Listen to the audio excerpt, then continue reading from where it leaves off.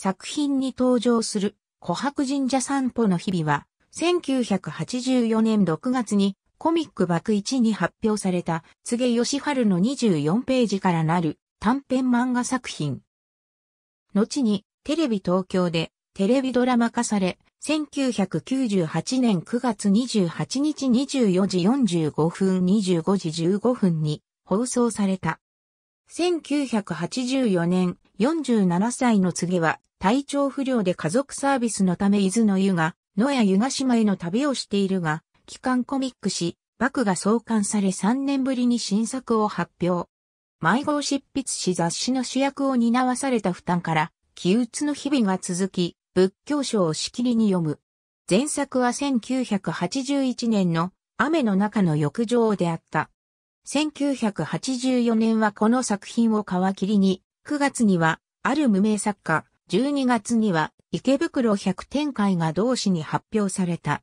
仕事が来なくて暇になった漫画家の退屈な日常を描いたもので、シリーズ化するつもりでストイックな生き方をする中年の主人公という設定で描き、顔はこれまでにない静かで端正なタイプとなり、今度進むは漫画的であるよりも文学的な表情と評した。告げ自身は最初は中年として描くつもりが途中から顔が若くなり、妻の顔も想定よりは若い感じになったが本当は中年として描きたかったという。しかし、漫画の世界では特に女性は中年を描くと受け入れられない風潮があり、妻の顔は可愛く描いた。夫婦ともに物静かな印象が強いが、当時はノイローゼがひどく変化を好まず、片隅で静かに生きたいという個人的な願望があったためである。その結果、作品は一人称で淡々と進んでいく雰囲気が濃厚である。また、男の子が登場するのはこの作品が最初である。また、最後にお金を盗むシーンを挿入したのは、あまりに淡々とした日常を描くことで読者を退屈させないための工夫であるが、最後まで入れるかどうかは迷ったとしている。コミックバクは、告げ作品の発表の場として夜久弘が編集長となり新たに発刊された雑誌だったが、作中の H 君を夜9は、告げと同じ町内に住む畑中淳だと直感した。夜9は、畑中の仕事場で多くのイラストを見る機会を得たが、鳥や魚、獣をイメージの世界に自由に遊ばせ、再現なく描き続けた作品の一部を月夜の音楽会と題して、創刊号関東に11ページにわたり掲載した。野川原稿依頼の来ない漫画家が暇を持て余し、野川に沿ってじいじまでの散歩を日課としていた。ある日に子供連れで神社の境内に入ったところ、掛け事をしている男たちに出会い、参加したもののポケットに入れていた300円を負けて、なくしてしまう。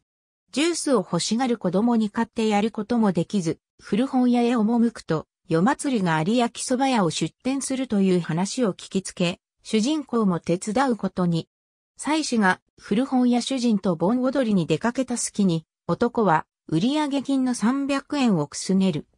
なお、掛け事をした神社のモデルは、琥珀神社で野川に沿っての小道は散歩コースになっていた。この作品には、連作として2作目がすでに構想されていたが、作品化されなかった。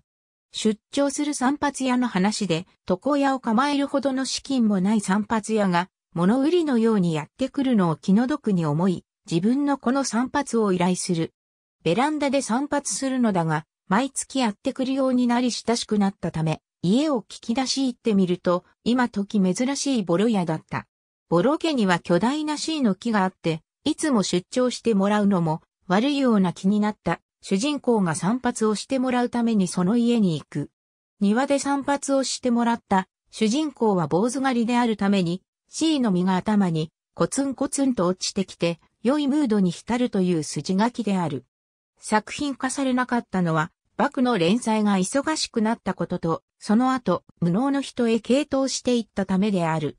バクに作品を発表し始めた当時は3年間ほど描いていなかったため、作品の構想はいくらか貯めていた。散歩の日々も発表のずっと以前から構想していたものである。柘植義春原作のドラマシリーズ、柘植義春ワールドの一本として制作された。CM ディレクター、映画監督の長尾直樹のテレビドラマ初、演出作品。私は、売れない漫画家である。妻が封筒張りの内職をして、生活を支えている。暇な私はいつもポケットに300円を入れて散歩の日々であった。しかしある日、神社で博打遊びに興じる職人に付き合い大事な300円を吸ってしまう。ありがとうございます。